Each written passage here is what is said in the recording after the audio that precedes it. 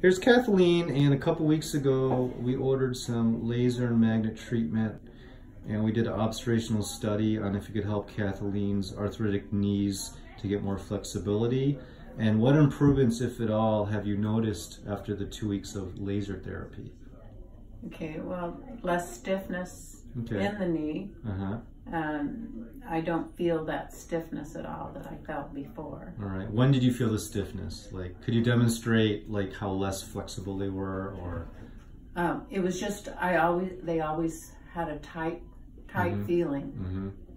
and now they don't. Okay. When So did you feel that tight- tight feeling? If you sat a long After while? the first after the first appointment, I felt it it was gone. Wow. And just one The treatment. one treatment, And it stayed gone. yeah.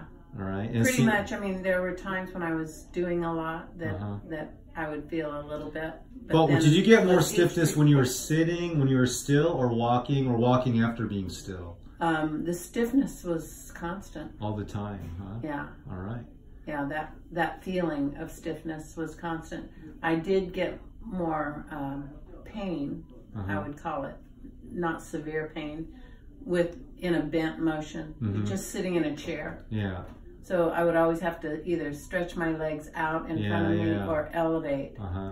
to relieve that. Where now I can sit with them bent. So it's pretty much gone, huh? It's it's really Pretty loosened much, up. Wow. yeah. Can could you show me how you walk up, get up to the chair better, and start walking right away? You don't have to set yourself. You just go. Yeah. Yeah. Yeah. Go ahead and start Yeah. walking. Yeah, it seems a lot more mobile. Yeah. All right. I think it worked for you. Yeah. Congratulations. Another successful case.